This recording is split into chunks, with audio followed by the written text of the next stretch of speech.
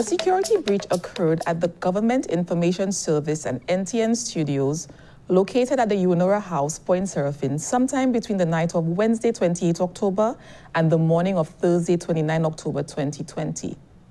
Hard drives containing approximately 120 terabytes of data, which included valuable historical footage of national importance, was purposely destroyed, as those drives were dismantled and a substance poured over them. Technical editing bays at the GIS were also ransacked and a DVR machine containing surveillance footage is currently missing. This matter is now in the hands of the Criminal Investigations Department of the Royal St. Lucia Police Force and is under active investigation. If any member of the public has any information on this occurrence, please contact the Royal St. Lucia Police Force.